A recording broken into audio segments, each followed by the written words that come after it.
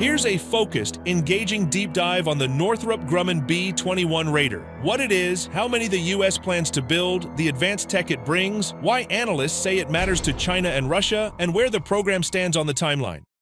I pulled together the major reporting and analysis circulating on the web and flagged the most important sources as I went.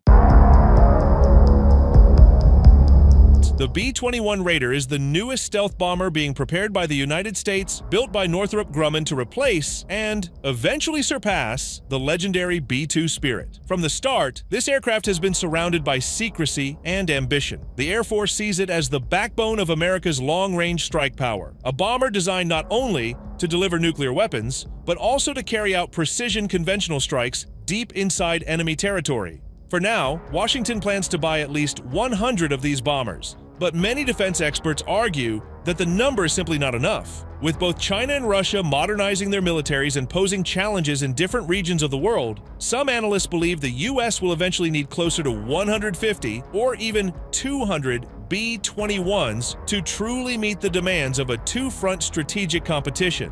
The debate reflects a constant tug of war. Stealth bombers are enormously expensive to design, build, and maintain, yet their strategic value is unmatched when it comes to deterrence. What makes the Raider so significant is the combination of technology built into its design. It has advanced stealth features meant to slip through the most modern radar systems. Its long range, allows it to strike targets across continents without relying on forward bases, and its open architecture design means the aircraft can be upgraded with new sensors, weapons, and software for decades to come. The B-21 is also built to be part of a network, sharing data with other aircraft, drones, and satellites, effectively multiplying its impact far beyond the bombs it carries.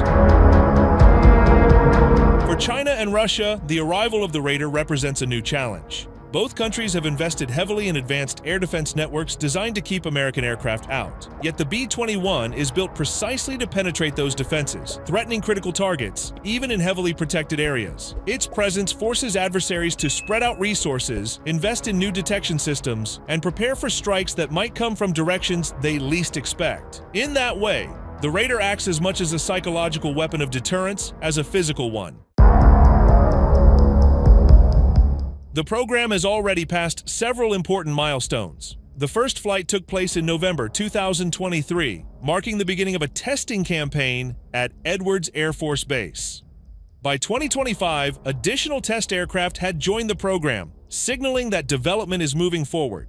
Production has begun in California, and the Air Force hopes to have the first operational B-21s ready by the mid to late 2020s.